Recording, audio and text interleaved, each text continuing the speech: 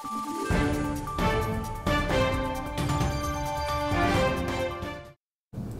morning, BBH. Today is Wednesday, August 28th. I'm Mark, And I'm Aiden. and these are your morning announcements. Were you ever interested in what happens behind the scenes on stage?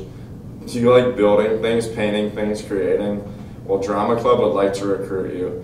We need people to help construct sets for us. If you think you might be interested, talk to Mr. Les. Drama Club would love to have you.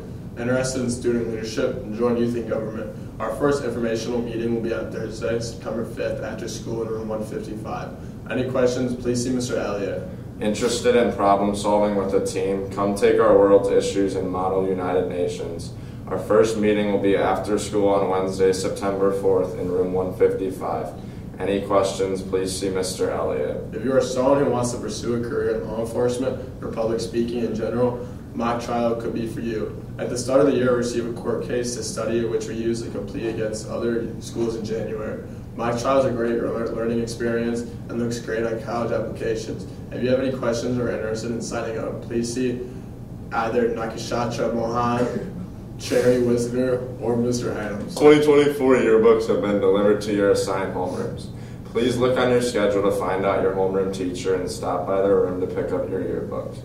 And that's all for today's announcements. I'm Mark. And I'm Aiden. And remember, we, we are BBH. BBH.